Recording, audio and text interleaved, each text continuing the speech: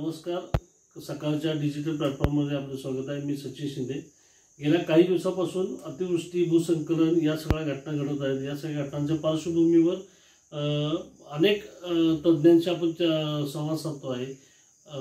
कोयना धरणातून लाल पाणी येते किंवा तांबडं पाणी गढूळ पाणी येत आहे. या पार्श्वभूमीवर त्याचा अभ्यास सुरू आहे. मात्र अद्याप त्याबद्दलचं फारसं कुठं आलेलं नाही. मात्र आपले भूगर्भशास्त्रज्ञ आहेत आपले. पुरुषोत्तम देशपांडे सर आणि त्या संदर्भातला अभ्यास केलेला आहे. त्याचे काही त्यांनी संशोधनपर निबंधही मांडलेले आहेत आणि त्यांच्या अभ्यासाची दखल शासनाने घेतलेली आहे. तर कोयना धरणातून तांबडं पाणी काय येते? या संदर्भातला आपण आज त्यांच्याकडून सर्व शास्त्रीय कारणं जाणून घेणार आहोत. आज आपण त्यांच्यासोबत संवाद साधून त्या संदर्भातली माहिती घेऊ. देशपांडे सर तुमचं स्वागत आहे. कोयना धरणातल्या एकूण परिस्थितीबद्दल माहिती सांगावी.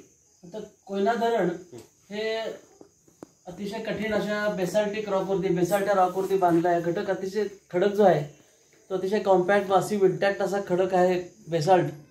परंतु परिस्थिती अशी आहे की ह्या बेसाल्टवरती हा बेसाल्ट जो तयार झाला तो त्रेपन्न मिलियन वर्षापूर्वी लावारसाच्या उद्रेकातून तयार झालेला खडक आहे. त्याचं जे वेदरिंग आहे खडकाची झीज आहे ती अशी दमट हवामध्ये आणि पावसाळी प्रदेश खूप असल्यामुळं त्यामध्ये मोठ्या प्रमाणात त्या खडकाची झीज वरच्या बाजूनं होत येऊन गेले त्रेपन्न मिलियन वर्ष अशी झीज आणि इरोजन होत आले ती झीज होऊन तो एक प्रकारचा लिथोमार्ज लिथोमार्च क्ले नावाचा एक क्ले तयार होत जातो. आणि हळूहळू तो लिथोमार्च क्ले हा जो मातीचा थर आहे तो थर त्यानंतर तो त्याचं लिथिफिकेशन किंवा तो घट्ट होऊन लॅटराईट त्याच्यावरती तयार होतो. ते कोयना डॅमची जी अपस्ट्रीम त्याचा कॅचमेंट एरिया बघितला तर त्याच्यावरती आपल्याला खूप मोठ्या प्रमाणात लॅटराईट रॉक दिसतो. लॅटराईट त्याच्याखाली लिथोमार्च क्ले त्याच्याखाली बेसाल्ट आणि परत पुढं ते ऑलरेडी तयार झालेले लॅटराईट्स आहेत. त्याची झिजून पुन्हा आणखीन पुन्हा तांबडी माती तयार होते. त्याच्यामध्ये मोठ्या प्रमाणात लॅटराईटचे बोल्डर्स असतात. आपण ज्याला सेकंडरी लॅटराईट्स असं म्हणतो. अशा प्रकारचा हा संपूर्ण लॅटराईट्स आणि लिथोमार्च क्ले ही माती जी आहे अशा प्रकारची पूर्ण रचना ही कोयनेच्या कॅचमेंटमध्ये आपल्याला पाहायला मिळते.